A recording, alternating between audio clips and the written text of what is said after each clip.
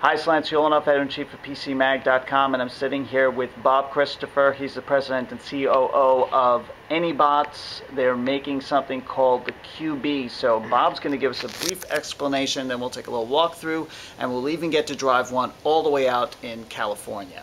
Bob, Yes. why don't you explain uh, quickly the uh, the QB, what what it is, what it does? Yeah, we're making uh, people-powered robots that are essentially telepresence um, uh, robots that allow us to be virtually anywhere we want to be Okay. for work and and and collaboration.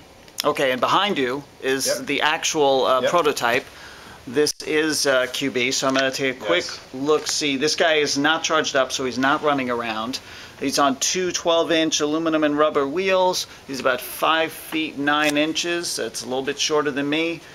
He has a camera up top. Yes. Uh, he has uh, a, this is called a laser LiDAR. LiDAR, and that's really to help him navigate his way through doorways uh, and people, uh, speaker on top, microphones. He's going to give uh, more or less uh, video, audio, telepresence, mobile Right. telepresence, and he's driven uh, through a web-based interface, which is right now on the Mac, but will be on the PC when you guys launch in a little while. So we're looking right now. This is uh, California. This is the uh, Trevor Blackwell's house in California. We're rolling around, uh, and you're controlling a QB right now. Hi, Trevor. We're gonna see you're in darkness because you've got the light behind you, but maybe we can uh, start rolling around. I'm gonna show the. Uh, so you're actually just controlling it very simply by rolling around there. So go ahead. I'm gonna follow him over here. And there's a camera. I don't know if you can see in that little window there. There's a this spot here is actually showing what is at the feet of QB.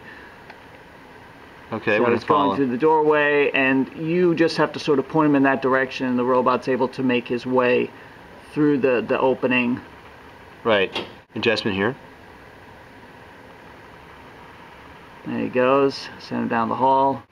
Okay. There we go.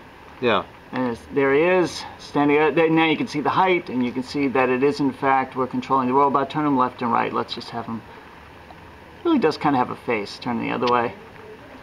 All right, so there you go. That's a brief demonstration of AnyBots QB coming out in, well, it's coming out in the fall for $15,000, really designed for businesses who want to have telepresence in the office, on the factory floor. Thank you, Bob Christopher. Thank you, Trevor Blackwell. I'm Lance Ulanoff, editor-in-chief, PCMag.com.